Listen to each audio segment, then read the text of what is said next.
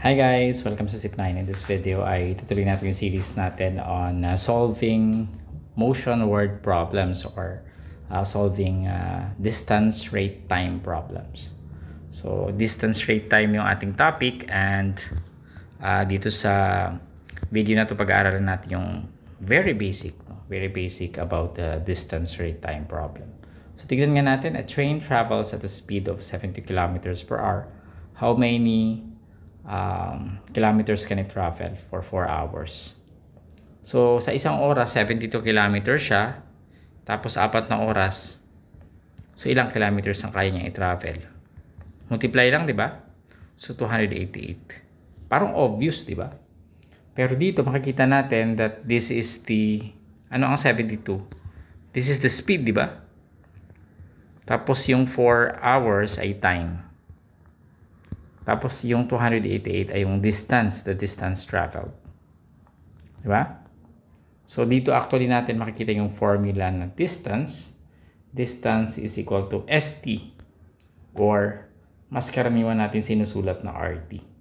Yung speed, uh, usually tinatawag din natin siya na rate, no? So D, D equals distance, no? R equals rate or minsan speed, no? kagaya dito sa problem na to. Tapos syempre yung t,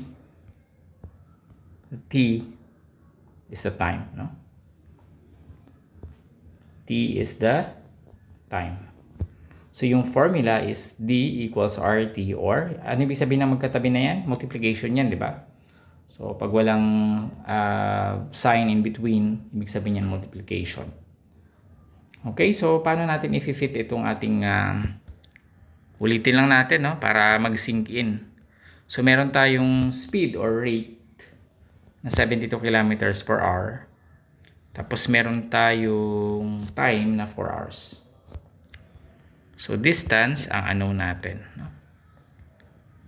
So we have a rate a rate of uh, 72 kph and we have a time of 4 hours.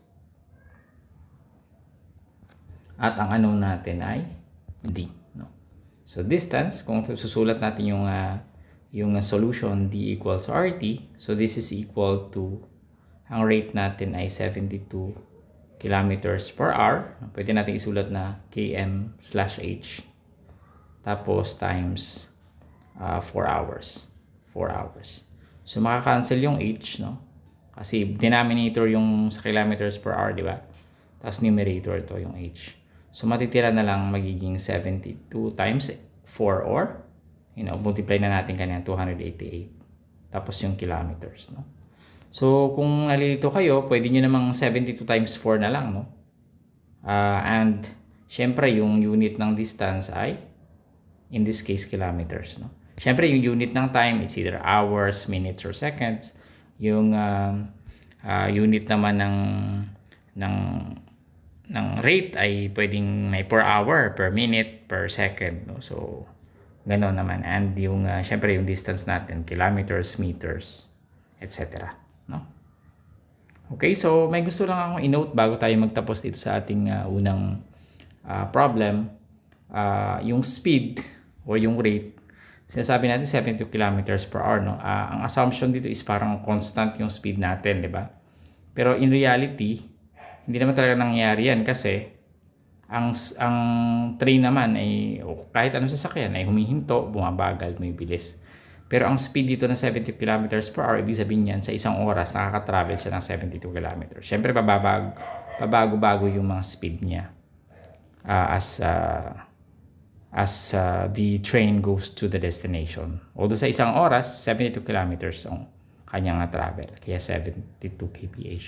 Kaya actually average speed yung pinag-uusapan dito. Pero in this case, uh, i-ignore na lang natin. So actually okay na tayo dito. Tama na yung sagot natin. No? Just uh, ano lang, medyo kinoconnect ko lang sa real life.